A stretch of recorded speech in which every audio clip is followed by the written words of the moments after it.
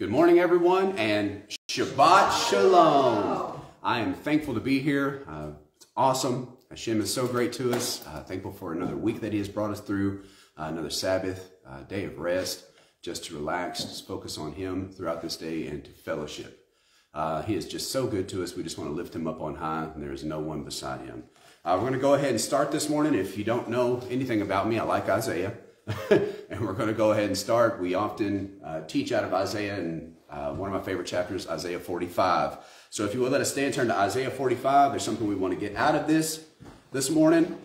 Isaiah 45 and verse 15.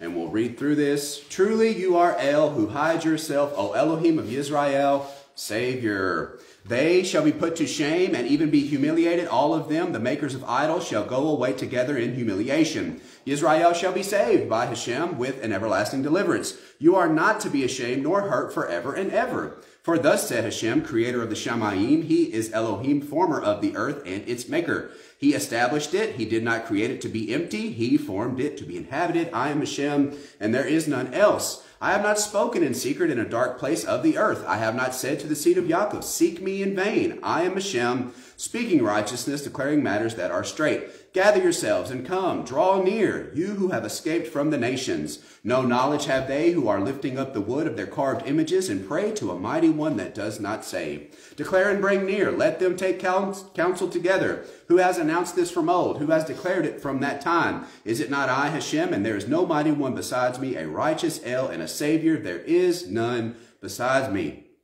Turn to me and be saved, all ye ends of the earth. For I am El, and there is none else. I have sworn by myself, a word has gone out of my mouth in righteousness, and shall not return to me, so that to me every knee shall bow, and every tongue shall swear. One shall say, Only in Hashem do I have righteousness and strength, and he comes to him. And all those displeased with him shall be put to shame. In Hashem all the seed of Israel shall be declared right and boast. So let's lift up our eyes.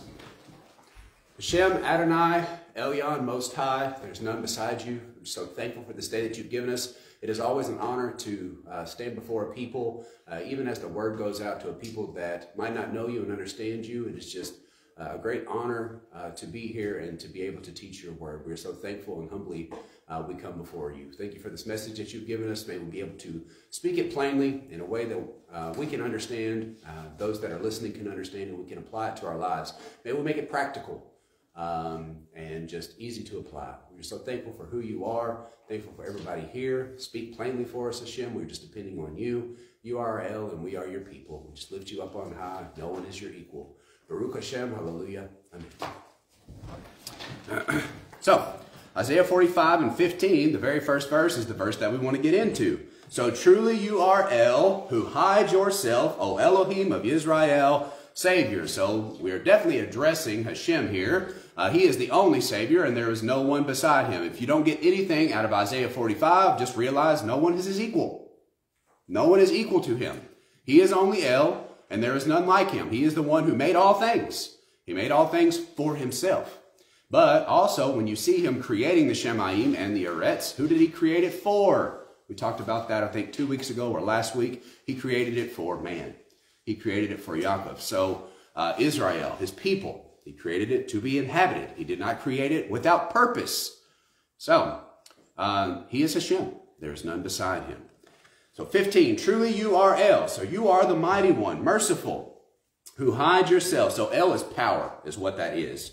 You are El who hide yourself, O Elohim of Israel, Savior. So, the hide is Sathar. It is to hide. You conceal yourself. To be hidden. You hide by a covering.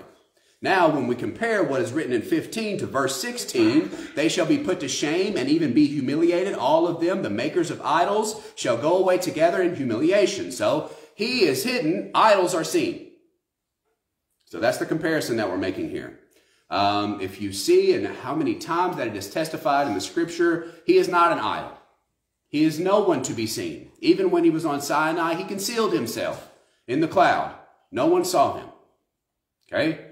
So, we're going to be talking about today, how do you get to know him? How do you get to know who he is? Okay? So, he hides himself. He is not an idol. They will be put to shame. That is kalam. Uh, it is to insult. They will be insulted. They will be humiliated, shamed, to be ashamed. They will be confused, the makers of idol. They will be dishonored, confounded. They will be taunted. They will blush like, why in the world did we bow down to wood, stone, idols? They will be ashamed. They will blush. They will be hurt. And when you continue to read through Isaiah 45, everyone's going to bow, and the makers of idols that continue to worship their gods and follow that doctrine will be confounded. They will be ashamed. They're going to be angry. Going to be angry. So the difference in the first two verses here, he is hidden. He has hidden himself. He is not an idol. Verse 17, Israel shall be saved by Hashem with an everlasting deliverance. You are not to be ashamed nor hurt forever and ever. I love that. Israel will be saved by Hashem. That is a testimony of who he is. That is who Hashem is. So, in this world, we have many gods, we have many religions, we have many doctrines. Israel will be made right. So if you are wanting to be religious or you're wanting to follow a doctrine, in the end, all that's going to matter is Hashem all that's going to matter is the creator, the one who created all things. So Yod He Vav He, that's all that's going to matter in the end. There will be no other name. And Israel shall be saved. For thus said Hashem, creator of the Shemaim, he is Elohim, former of the earth and its maker. He established it. He did not create it to be emptied, that is void or vain, vanity. He created it with purpose. So he had purpose when he created the earth. He didn't create it without purpose. He formed it to be inhabited. That was his purpose. I am Hashem and there is none else. So he's saying, no one is my equal. No one helped me. It, it was me. I did it. Okay? I have not spoken in secret in a dark place of the earth. I have not said to the seed of Yaakov, seek me in vain. So he made the earth with purpose and Yaakov has purpose. Okay? We have purpose in this life. Our purpose is to spread truth. Our purpose is for people to realize that Hashem is El and there is no El beside him. He is the only one. No one is his equal. So that's purpose. But I also like what the true purpose is because if you look at Judaism, and I really like that aspect of it, it's not their duty to convert anybody. It's not their duty to proselyte. What they do and what they've always wanted to do is to instill morality into the world. Okay? In the end, everybody's going to see Hashem. What they wanted to do was instill morality. They wanted truth. They wanted people to do righteousness. And that's what I have a longing for. So I teach righteousness. In the end, everybody's going to see Hashem. So, that is the purpose. I am Hashem speaking righteousness just like we said, seek, um, I have not said to the seed of Yaakov, seek me in vain. So Yaakov has purpose. I am Hashem speaking righteousness, declaring matters that are straight. So what's the purpose? Speak righteousness. Declare matters that are straight. Gather yourselves and come. Draw near together. You have, who have escaped from the nations. No knowledge have they who are lifting up the wood of their carved image and pray to a mighty one that does not save. They don't have knowledge. Can they not see? Do they not perceive? Declare and bring near. Let them even take counsel together. So all the makers of idol, take uh, idols, make and take counsel together. Who has announced this from old? Who has declared it from that time? Is it not I, Hashem, and there is no mighty one besides me, a righteous El and a Savior? There is none beside me. My favorite part, or one of the favorite parts about Isaiah 45 is he makes a charge. He gives an invitation to the world to the makers of idols. He says, come and follow me. Your idol cannot save. There is no idol, there is no other God, and as we continue on and we look through Egypt, there is no other God who can save you from the hand of Hashem. Okay? You can pray to them and they will not deliver. You look at that and you see that in Elijah and the prophets of Baal. You can pray and you can pray and you can pray, and there is no God who can save you from the hand of Hashem. So take counsel together. And then he gives them an invitation. Verse 22, turn to me and be saved, all the ends of the earth. So what is that an invitation to? Turn away from your idols, turn to me. Turn away from your idols. If you get anything out of Isaiah 45, Hashem is hidden. You serve him in a certain purpose, in a certain way. It's through his Torah, and we'll see his presence in our life as we continue to do this. But you turn from your idols and turn to Hashem. If you cling to your idols, you're going to be confused. I had a really good, um, a really good compliment this week. The person was talking to me and they said, I listen to what you have to say and you make it to where it's easy to understand. Make it practical.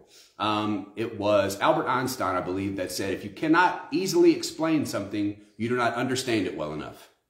It should not be confusing. It should be easy to understand, and that's my prayer often, easy to understand and able to apply. We need to be able to apply this in our lives. So, continuing on. Come, turn to me and be saved. Uh, that is a roundabout way or an indirect way of saying turn away from your idols. Turn to me and be saved, ye ends of the earth, for I am El, and there is none else. Turn from your idols and turn unto Hashem. I have sworn by myself, a word has gone out of my mouth in righteousness, and shall not return, so that to me every knee shall bow and every tongue shall swear. What will they swear? You are Hashem. Those were idols. That's what they're going to swear. They're going to make an oath to him that he is God. And only Torah is the instruction. No other instruction.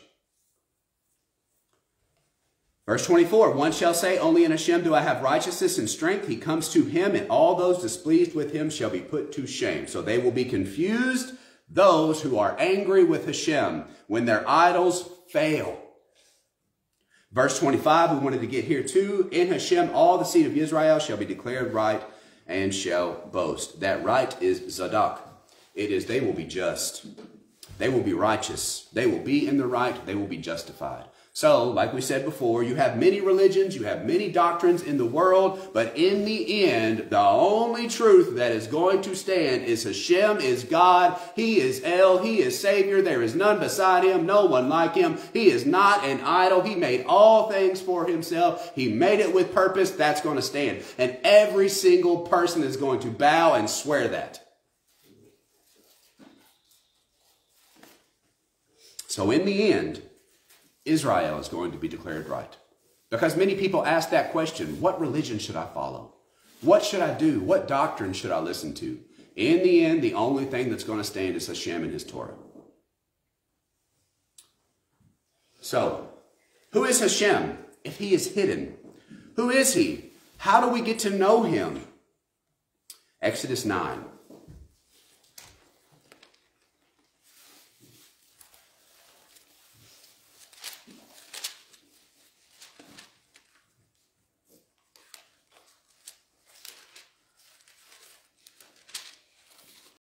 Exodus 9, and in verse 8. I think this was the Torah portion last week. So Exodus 9 and verse 8. And Hashem said to Moshe and to Aharon, Fill your hands with ashes from a furnace, and let Moshe scatter it toward the Shamayim before the eyes of Pharaoh. And it shall become fine dust in all the land of Mitzrayim, and it shall cause boils to break out in sores on man and beast in all the land of Mitzrayim. And they took ashes from the furnace and stood before Pharaoh and Moshe, scattered them toward the Shemayim, and they caused boils breaking out in sores on man and beast. And the magicians were unable to stand before Moshe because of the boils, for the boils were on the magicians and on all the Mitzrites. So they were on everybody. Okay? And Hashem hardened the heart of Pharaoh, and he did not listen to them, as Hashem had said to Moshe. Now, this can be a very confusing point, okay? If man has free will and man can make his own decisions, why did Hashem harden the heart of Pharaoh, okay? So, did Hashem harden Pharaoh's heart? This was Pharaoh's response to who Hashem was. That is how we teach that. This was Pharaoh's response to who Hashem was. Some people hate you for no reason. It has nothing to do with you, but their perception of you as a person. Okay? You are you, whether people believe in you, accept you, like you, or dislike you. You're still you. Now, on that, you should not be a people pleaser. And what that means is don't cater yourself in order to keep people in your life. Okay? That's a people pleaser. You will lose yourself. You will lose your own identity in order to keep people in your life. Don't do that. You are going to be the person that's wore out more than anybody if you continue to be a people pleaser. You have to know how to set boundaries. You have to know how to say no. It's okay to take care of yourself. Okay? So, you are you. Be you. Be the best you that you can be. So, no matter what people believe in, accept, like or dislike about you, you're yourself. So what is this? Hashem was El and Pharaoh hated it. Why? Because he wanted to be God. He wanted to be Savior. And we'll get that even more. And there's a verse that we're going to use that's been twisted and thrown out of context that's in the uh, New Testament. And it talks about, I have raised you up for this reason. That is completely out of context. And we'll get into the script and tell you what it really means. Okay, because it almost sounds the way that it's written in New Testament, I have made you particularly for this purpose so I can destroy you. and I can show everybody my might. But that is not what it's talking about when you read it in context. So, this was Pharaoh's response to who Hashem was. His heart was hardened towards him. Why? Because it was God against God. And we've done that message before. The Pharaoh believed that, or the people of Egypt believed that Pharaoh was a manifestation of God. That's no different than Christianity. I'm telling you that stuff has been passed down from generation to generation to generation to generation to generation. And that's why the whole nations, or all the nations, the Gentiles, led by Paul, accepted all of that because it was something that they were already familiar with. Okay? They were already familiar with that. That's why they accepted it and loved it. God made man. Okay? A man made God, or God is man. All that stuff has been taught before. So that's why we make the comparison between who is God. He is hidden. Hashem is hidden. He is not an idol. He never took the form of a man. He never was a man. Okay? I am not a man. That's what he said himself. So, this was Pharaoh's response to who he was. His heart was hardened towards him because he wanted to be God. I want to be Savior. And we'll get into that more. He did not listen to him. Verse 13. And Moshe, and Hashem said to Moshe, Rise early in the morning and stand before Pharaoh and say to him, Thus said Hashem, Elohim of the Hebrews, Ibrahim, Let my people go so that they serve me. For at this time I am sending all my plagues onto your heart and on your servants and on your people so that you know that there is no one like me in all the earth. So who was in the earth? Pharaoh was in the earth. And this backs up what we're talking about. I want you to know, Pharaoh, that there is no one like me in the earth. You are not my equal, buddy, is what he is telling him. I want you to know that you can't stop me. None of your gods can stop me. You have no power to stop me. And you know what that did to Pharaoh? It made his heart hard. You don't tell me what to do. I'm the Pharaoh of Egypt. Make sense? Makes sense. So, I am teaching you this so you know that there is no one like me in all the earth. Verse 14. Now, if you had stretched out my hand and struck, uh, verse 15, now if I had stretched out my hand and struck you and your people with pestilence, then you would have been cut off from the earth. And this is very important to understand when we get into the next verse. I could have destroyed you, Pharaoh, for not listening to me. And I had mercy on you. I could have destroyed you. So, I got to find out Exodus, and then we go to verse 16. For this reason, here we are. Uh, now I could have stretched out my hand and struck you and your people, verse 15, with pestilence, then you would have been cut off from the earth. And for this reason, if you read it, what it said right here, for this reason I have raised you up in order to show you my power and in order to declare my name in all the earth. So there are a few points we want to hit in this. That is a bad translation. There are many other translations, and it says, and for this reason I have let you live, is what that means. I have let you live so I can show my power and my might. And that makes so much more sense when you continue through that. And he says that my name shall be declared in the earth and you still exalt yourself. I believe that's how that's supposed to be interpreted because that makes sense. In the BBE, it says, I have kept you from destruction. In the easy English, it says, I have let you live. In the EBR, it says, I have let you remain.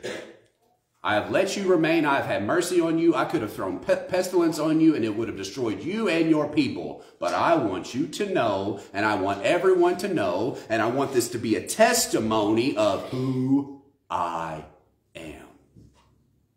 And what is my name? If we had a title for this message, we know him by his name. Okay? If you can't see him, then how do you know him? And there are three points in the way that you know him. You know him by his presence in your life. You know him by his provision in your life. And you know him by his protection in your life. Okay? How many times have you heard somebody say, well, that was a miracle? Well, who in the world saved you? Who in the world protected you? I knew somebody was watching out for me. Who was it? That is him. That is him. That is his presence in your life, provision in your life, and protection in your life. So, how do we make sense of what's going on here? Hashem was Hashem. Pharaoh hated it because all his power was being stripped from him. I have let you live in order to show my power that there is no mighty one besides me, just like it says in verse 14, so that you know there is no one like me in all the earth. I love it. Oh, it's so good. That's yummy. That's yummy. So, what does he say? I have let you live to know and to show my power and in order to declare my name in all the earth. Verse 17. It makes sense with how we are bringing this out in context because it says, you still exalt yourself. That is pride. You have hardened yourself against me not to let my people go because you think that you're something, Pharaoh. Against my people in that you do not let them go. This is a response. This is God versus God. Pharaoh was the God of Egypt. Pharaoh wanted to be God with no one beside him. He wanted that honor. By the end, the Egyptians knew who was God. Excessive pride can take you over. If you are too proud, like I said, there's a balance in life. Don't be too humble. People walk all over you. Don't be too proud because Hashem will humble you. Okay? So there's a balance in life. You can be proud of the work that you do and the effort that you put in. Um, so you can do that, but don't be, you can be humble, but don't be too humble where you can't set boundaries and say no. So there's a balance in life. You got to know when to use what. So, but excessive pride can take you over and it can become your detriment. Arrogance is ignorance. Arrogance is ignorance. So, no one beside him. Exodus 14. We also wanted to get, and we'll, we'll go to Exodus 14, but there's a point that we want to get in verse 16 before we turn there. And for this reason, I have let you live in order to show you my power and in order to declare my name in all the earth. My name. That is, we know him by his name. That is protection, provision, presence. We know him by his name. What his name is Shem. We know him by his reputation, his memorial, his monument. We know him by his character and his authority. We know him by his renown and his report. My favorite is uh, character. We know him by who he is. We know him by what he does, protection, um, presence, and what's it, provision. So this is his authority. No one can stop him. So you know him by his name. And by the end of it, they knew who he was. So we're going to turn to Exodus 14 now. Exodus 14 and verse 8. 14 and verse 8. And Hashem hardened the heart of Pharaoh, sovereign of Mitzrayim, and he pursued the children of Israel, but the children of Israel went out with a mighty hand. So excessive pride can take you over. He was infuriated. What have I done? I let my slaves go. And if, if they did ever go back, which you can see here that some of them wanted to, Egypt's destroyed now. Okay. If they thought that the building and the hard labor was tough before, they are going to have to rebuild uh, Egypt. So it was going to be tough. And I can't believe that they wanted to go back. But that's life. That's how we are. And that's what we talked about last week. And we'll say it again when we get there. But uh, Hashem hardened the heart of Pharaoh. This was a response of Pharaoh to who Hashem was. Sovereign of Mitzrayim, and he pursued the children of Israel, but the children of Israel went out with a high hand, and the Mitzrites pursued them, and all the horses and chariots of Pharaoh, and his horsemen and his army, and they reached them camping by the sea uh, beside Pi Hahiroth before Baal Zephon. And when Pharaoh drew near, the children of Israel uh, lifted their eyes and saw the Mitzrites coming upon them, and they were greatly afraid, so fear. So the children of Israel cried out to Hashem, and they said to Moshe, Did you take us away to die in the wilderness because there were no graves in Mitzrayim? What is this that you have done to us to bring us up out of Mitzrayim? Is it not the word that we spoke to you in Mitzrayim, saying, Leave us alone and let us serve the Mitzrites, for it would have been better for us to serve the Mitzrites than to die in the wilderness. So what did we talk about last week? The benefits of change is what we talked about last week. Can you see the benefits? Okay. People are living miserable lives, but they are comfortable. What does that mean? Afraid to step out of their comfort zone in order to face their fears. So they would rather stay and live in misery than face their fears and live a better life. They were afraid. They were afraid. So step out. Step out of your comfort zone. Continuing on. Lifted up their eyes. You should have just left this in in Mitzrayim. Should have left us in Egypt. Verse 13, and Moshe, Moshe said to the people, Do not be afraid, stand still and see the deliverance of Hashem, which he does for you today. For the Mitzrites whom you see today, you are never, never to see again. Hashem fights for you, and you keep silent. And Hashem said to Moshe, Why do you cry to me? Speak to the children of Israel and let them go forward. And you lift up your rod and stretch out your hand over the sea and divide it. And let the children of Israel go on uh, dry ground through the midst of the sea. And I, see I, am hardening the hearts of the Mitzrites, and they shall follow them. And I am to be esteemed through Pharaoh and over all his army, his chariots and his horsemen. And the Mitzrites shall know that I am Hashem when I am esteemed through Pharaoh, his chariots, and his horsemen. So they are going to know when I, that esteemed, is prevail. They are going to know when I prevail who I am. How do we know him? We know him by his reputation. Why do you think so many times in Torah it says, and teach this to your children? Teach this to your kids about Egypt and what I did and brought you out with a mighty hand. Have you ever heard, and that's one of my favorite portions, have you ever heard of anyone bringing a nation from another nation, nation with a strong and mighty arm and bringing you into another land or revealing himself to anyone else but to you. And I did this for you so that you know that I am El. And that's why he says, teach that to your children. Rehearse that to your children, that there are no other gods the Mitzrites shall know, they will experience that I am Hashem when I prevail against them through Pharaoh and his chariots and his horsemen. By the end, the Egyptians knew who he was. And even in the beginning, when you see Pharaoh and Pharaoh is first talking to Moses, what does Pharaoh say? Who is he? Who is Hashem that I should follow him? Is this a new God that I need to know about? Who is he? I've got, I've got all my other gods back. Wait, wait a second. I'm God. Who is he? By the end of it, he knew. And by the end of everything, when it's all said and done, everybody's going to know who he is. Everybody. So, there is no mighty one who can save from Hashem, who is equal to him. Comfortable misery Step out of your comfort zone in order to seek a better life. We know him by his name. That is his reputation, character, authority. He has presence in our life. He makes provision for us. And He is our protection. Exodus 34.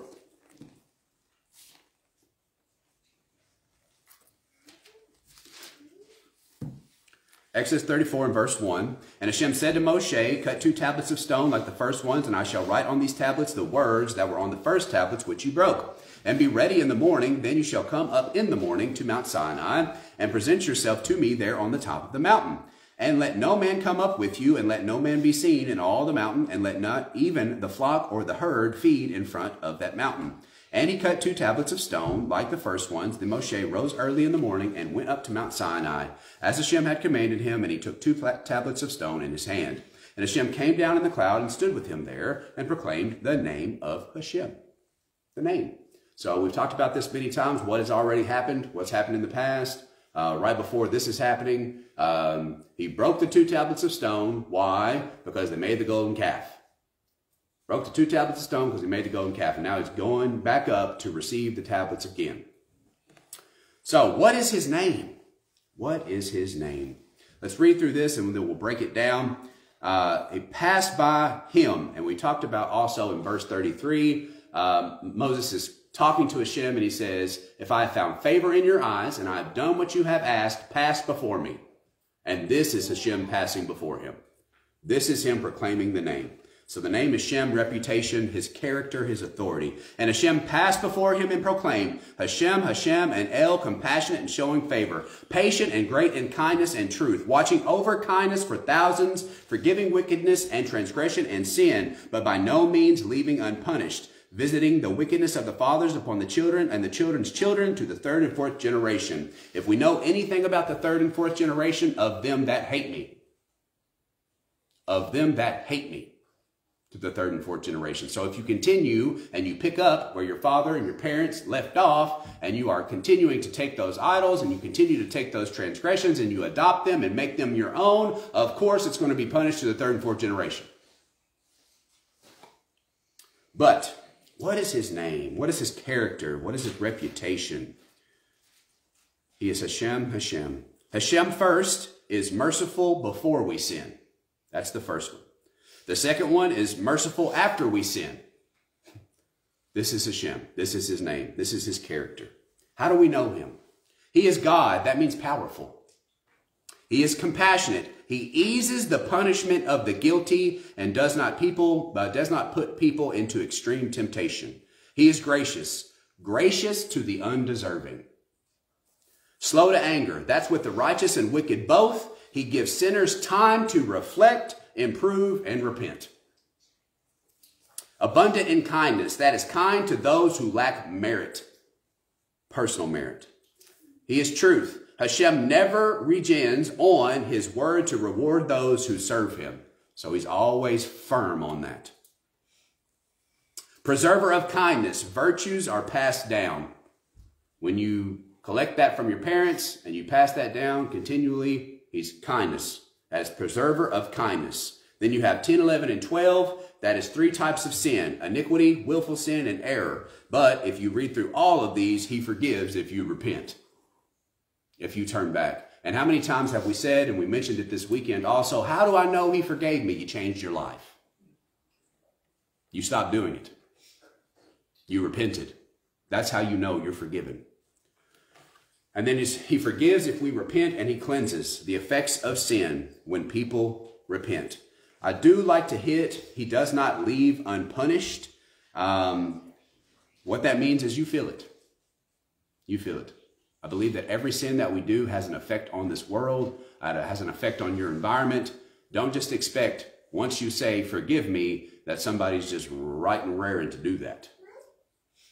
Okay? So remember that everything you do has consequences. There is reward and there is also uh, bad consequences for doing things. So don't just think, you go to somebody, please forgive me. Okay. That they just automatically forgive you. There's hurt there, pain. Okay? Don't expect that just to erase everything. He said he does not leave them unpunished. So you will feel the effects of the decisions you make in your life, period. And I think that everybody knows that. Everybody understands that. So, get through that. Now we go to Isaiah 55. Ooh, this is good. This is my favorite part. It's good so far. but now we're about to get in Isaiah 55. I think we went to Isaiah 55 maybe two weeks ago, three weeks ago, something we want to get out of this. You've heard this your whole life, but it's just so awesome. Isaiah 55 and 1. Oh, uh, oh, everyone who thirsts, come to the waters, and you who have no silver, come buy eat. Uh, come buy and eat. Come buy with wine, uh, come buy wine and milk without silver and without price. So we understand and we talked about how um, water does not really help you digest. Milk and wine helps digest. So he's talking, come, what is the water? His word. And that's what he says as we continue on. Come drink. If you're hungry, come eat from his Torah, from his, from his instruction. Verse 2, why do you weigh out silver for what is not bread, and your labor for what does not satisfy? And that is the doctrines of today. That is um, any religion. Why are you continuing to put your time and your effort? That's what that work is. You are putting your attention, your time, and your effort into things that leave you unsatisfied. And that's why many people leave, as we talked about before, the church. Why? Because they know there's lies in the church, for one. And number two, they're going and they're only getting temporal satisfaction. Once they walk out of the door and everybody's been hooping and hollering, woo, that was good. But once they step out, it's gone. It has no lasting effect. Why do you continue to put your time, energy, attention into something that does not satisfy you? I dry out. And what does that mean? I don't spend enough time in the Word like I should. And this week, I felt dried out. But you know what? When you put your time and your energy and attention back into Torah and back into Tanakh, He gives you life. Who is the man? Who is the tree? Psalms 1. It is you. You are the one that's planted by the rivers. Uh, Jeremiah, you are the one that will draw and never see the heat, never see the drought.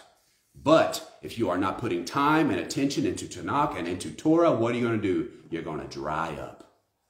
You're going to wither. Because this is food for your spirit. This is food for your soul. I was asking myself the question this week, what does it look like to give up? Because many times you help you tell people if they're in a bad situation, well, just don't give up. What does giving up look like? You don't do the dishes anymore. You don't do the laundry anymore. You don't get out of the house. You uh, start taking up addiction. You give up on your family. That's what giving up looks like. So don't give up. It's even when you are having a bad day, you continue to live your life. Do not be sedentary. That is epidemic, uh, an epidemic that is all through America. Being sedentary, not moving. And you know how I am with exercise, but that's that's destroying us. And I'm I'm definitely the person who believes if you don't use it, you lose it. So use it. Use it. So, Isaiah 55. Come, why do you continue to put your time, your effort, and your attention into something that is not satisfying you? You leave and you're still dried up because they tell you about prosperity and you ain't got to worry about nothing covered by the blood. It's, it's a joke. It's so sad. It's a joke. And we might do, do a message next week on original sin. So what is original sin and what is the doctrine behind that? It's the fact that, and what they say, especially when it comes to uh, Christianity, in that doctrine, that you're totally deprived, that you cannot do good, and what do they do? They give you the poison, they give you the curse, and they give you the cure. That's what the government does.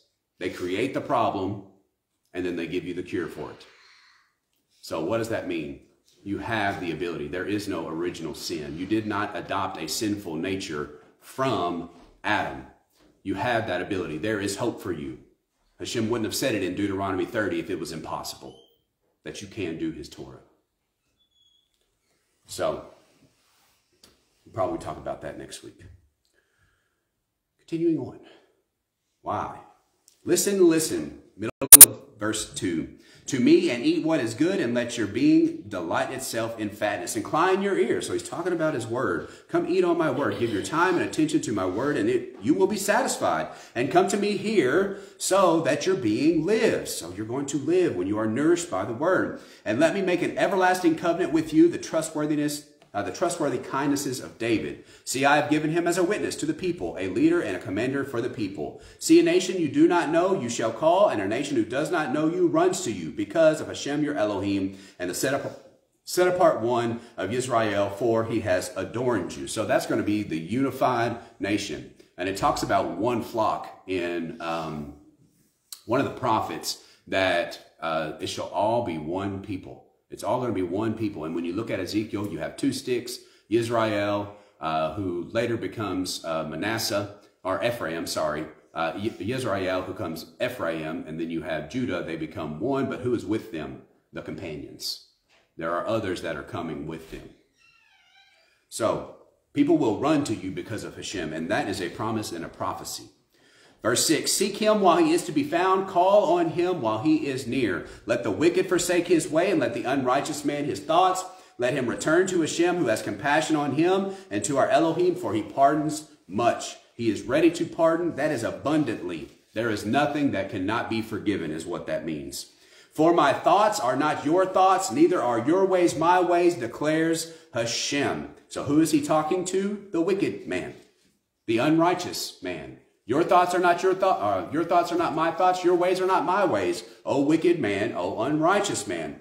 Verse 9, For as the Shemaim are higher than the earth, so are my ways, uh, then your ways, and my thoughts, than your thoughts. For as the rain, water, Torah, drinking, eat, consume, time and attention, grow, live.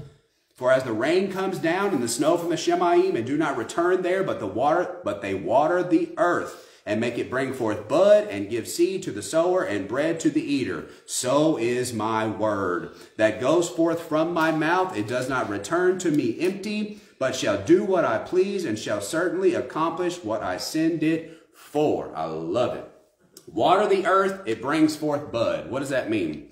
My word will not return to me empty, void, uh, vanity, useless. It's going to return to him prosperously. Okay? So he's going to do what he said. But you know what's even greater than that? Hashem is working behind the scenes. I love it. Okay? Hashem is working behind the scenes. He is making moves that you don't even know about. You know what's awesome about this? We do not need to know everything he's doing. I love that. That's what he gave me this morning. You do not need to know everything he's doing. But just know he's working behind the scenes. And how can I get that from verse 58? You do not see everything that happens under the ground. But one day it will break forth and pop up through the earth. And then you're going to be able to see it. Something you said is growing. Something you did is growing. So you said something and you did something. So that was action and words. Your words matched up with what you were doing. So don't be discouraged. He's working behind the scenes. Something's happening. You don't see everything that's happening under the ground, but you know what? That seed is growing. His word is not going to return to him void. You have to, you have to have hope when it's hopeless. You have to have trust when it's hard to trust. You got to believe. I love it. Movements are being made. Pieces are coming together. Uh, one of my favorite phrases is a song, your life isn't falling apart, it's falling into place.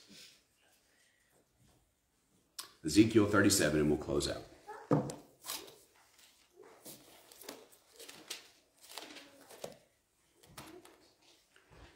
Ezekiel 37 and verse 11, we talked about this last week. We're going to get into the very last part of it when he reveals the prophecy. Ezekiel 37 verse 11, and he said to me, Son of man, these bones are the house of Israel. See, they say, our bones are dry, our expect, uh, expectancy has perished, and we ourselves have been cut off. So they're just dried out. Where's the Torah? Where's their hope? Dried up. Therefore, Nabah, prophesy, and you shall say to them, Thus said the Master Hashem, See, O my people, I am opening your graves, and you shall bring you up from the graves, and shall bring you into the land of Israel. And you shall know that I am Hashem, when I open your graves, O my people, and bring you up from your graves. And I shall put my Ruach in you, and you shall live, and I shall settle you in your land, and you shall know that I, Hashem, have spoken, and I have done it, declares Hashem.